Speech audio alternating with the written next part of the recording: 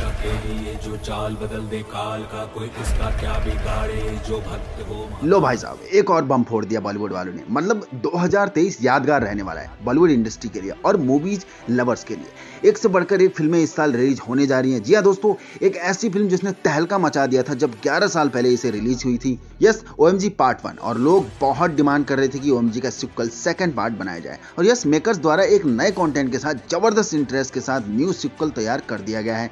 जी हाँ इसका टीजर आज पब्लिक को मिल चुका है। जी हाँ दोस्तों ओ टू का टीजर रिलीज़ हो चुका है और क्या ज़बरदस्त कॉन्टेंट की महक आ रही है इससे? भाई मान गया मतलब मेरा एक्साइटमेंट लेवल अब सौ नहीं थाउज़ेंड परसेंट हो चुका है इसके ट्रेलर को देखने के लिए और मूवी देखने के लिए तो मैं बेसवर हूँ ही। दोस्तों, बात करेंगे टीजर कैसा लगा लोगों को? क्या ओ एम टू में भी सेम कहानी रहने वाली है या कुछ नया हटके दिखाएँगे? मूवी कब रिलीज़ होगी? क्या टीजर सालार और गदर टू और जवान को टक्कर दे रहा है? मूवी बजट कितना है? इस बार अक्षय कुमार को कौन सा रोल मिलने वाला है मूवी में? सब जानेंगे उस कुछ ही देर में तो वीडियो को अंत तक ज़रूर देखना। अगर आप भी ओ एम टू मूवी का लंबे समय से इंतज़ार कर रहे थे और अक्षय पाजी के डाई हार्ट फ़ैन हैं, तब। लेकिन उससे पहले वीडियो को एक लाइक और नए हो तो चैनल को सब्सक्राइब ज़रूर करना। तो चलिए शुरू करते हैं। शुरुआत करेंगे देवों के देव महादेव के नाम से। जी हाँ दोस्तों, महादेव की कृपा लग रही है अक्षर बाजी के करियर को। फिर से चार चाँद लगने वाले हैं। इस बार भोलेनाथ लग रहा है खुद नीचे चलकर आए हैं, बॉलीवुड को ऊपर उठाने के लिए। जी हाँ दोस्तों टीजर में तो आप लोगों ने देख ही लिया होगा की इस बार अक्षय पाजी भोले शंकर का किरदार निभा रहे हैं। और क्या बाखूबी से रोल प्ले किया है, बिल्कुल दिल खुश हो गया उनकी वेशभूषा को देखकर और उनकी स्माइल को देखकर। बिल्कुल साक्षात महादेव के दर्शन हो गए हो जैसे। मानना पड़ेगा मेकर की सोच को एम वन को जहाँ से छोड़ा था, वहीं से शुरू कर सकते थे। लेकिन न्यू कंटेंट को जनता के लिए लेकर आ रहे हैं और पहली फ़िल्म की तरह ही ढेर सारे वैल्यूबल लेसन देने वाले हैं अपने कंटेंट के माध्यम से। देखो स्टोरी अभी भी सॉलिड थी इनके पास। जगह जगह जाकर धर्म के ठेकेदारों को सबक सिखा सकते थे। अंधविश्वास खत्म करने का किस्सा और अच्छे से रिप्रेजेंट कर सकते थे, पर ऐसा नहीं किया। कहानी पूरी बदल कर रख दी और एक नया कंटेंट तैयार करके दे रहे हैं लोगों को। जी हाँ दोस्तों, पिछली मूवी थी नास्तिक के बेस पर और इस बार कंटेंट तैयार करा गया है आस्तिक के बेस पर, जो भगवान के ऊपर सच्ची श्रद्धा दिखाएगा। पूरी सच्ची भावना से उनके ऊपर निर्भर रह के उनके निर्णय का वेट करे। और कहते हैं ना, भगवान अपने भक्त का ख्याल रखते हैं।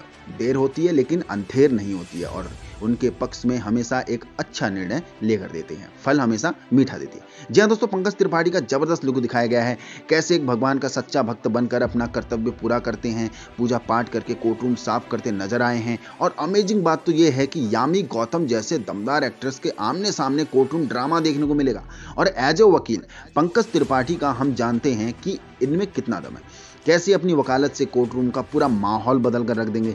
जी हाँ दोस्तों, टीजर बहुत दमदार है। अक्षय बाजी का लुक एज शंकर भगवान बहुत ज़बरदस्त लग रहा है। जी हाँ दोस्तों, इस एक एक्टर को कंटेंट किंग कहा जाता है, क्योंकि इनकी मूवी वाकई में रियल एंड लॉजिकल कॉन्टेंट पर बेस होती है। लेकिन कुछ टाइम पैसे के चक्कर में, लालच के चक्कर में और ज़बरदस्ती एक साल में सात से आठ फ़िल्में देने के चक्कर में इन्होंने अपना स्टार्डम स्पाइल कर लिया था। लेकिन महादेव की कृपा वाकई में अब इन पर होने वाली है और यहाँ से अकी पाजी का ज़बरदस्त कम होने वाला है। बाकी नंदी बाबा और भोला भंडारी का कनेक्शन बहुत सॉलिड दिखाया गया है। जहाँ जहाँ भोलेनाथ जाते हैं, नंदी बाबा पीछे पीछे आते रहते हैं। दूसरा ये कि अक्सर सर का पानी के नीचे बैठना, जैसे गंगा उन पर विराजमान हो रही है। और बगल से ट्रेन का निकलना, ये शो करना कि दुनिया उनके आसपास ही घूम रही है। दोस्तों टीजर एक नंबर है। और सबसे खास बात तो ये है कि टीजर की कुछ भी कहानी इसमें रिवील नहीं करी जा रही है। किसी को कुछ आइडिया नहीं लग रहा है कि आखिर मूवी में होने क्या वाला है। मतलब टीजर को ऐसे डिज़ाइन कराया गया है जिससे लोगों का एक्साइटमेंट लेवल हाई हो जाए और भी ज़्यादा। और उसका लोग कहें कि ट्रेलर में अब ये और क्या दिखा सकते हैं। दोस्तों नो डाउट मूवी को हिट होने से किसी का बाप नहीं रोक पाएगा। और टीजर लोगों को बहुत पसंद आ रहा है। जी हाँ दोस्तों, डेढ़ सौ करोड़ के टोटल खर्चे पर बनने वाली ओ एम जी टू बेहतरीन स्टार कास्ट के साथ इसे सजाया गया है, जिसमें आपको मेन लीड में अक्षय बाजी और पंकज त्रिपाठी को दिखाया गया है। सपोर्टिंग में आपको यामी गौतम, गोविंद नामदेव, अरुण गोविल जैसे दिग्गज स्टार देखने को मिलेंगे। दोस्तों, मैंने बहुत बोल लिया, अब आपकी बारी। अगर आप लोगों ने भी टीजर देख लिया है तो आप लोगों को ये टीजर कैसा लगा? दूसरा, अगर आप लोगों को इसके ट्रेलर का कितना इंतज़ार है, और ये फ़िल्म गदर और टक्कर दे पाएगी या नहीं, फटाफट अपनी राय कमेंट बॉक्स में ज़रूर शेयर करके जाना। बाकी मूवी रिव्यू और बॉक्स ऑफ़िस से जुड़ी सभी अपडेट्स के लिए और बॉलीवुड हॉलीवुड और साउथ फ़िल्मों की अपडेट्स के लिए हमारे साथ ऐसे जुड़े रहना। और अगर चैनल पर नए हो तो सब्सक्राइब ज़रूर करना। दूसरा, अंगूठे वाला बटन दबा के वीडियो को लाइक ज़रूर करना। मिलते अगली वीडियो में। जय हिंद।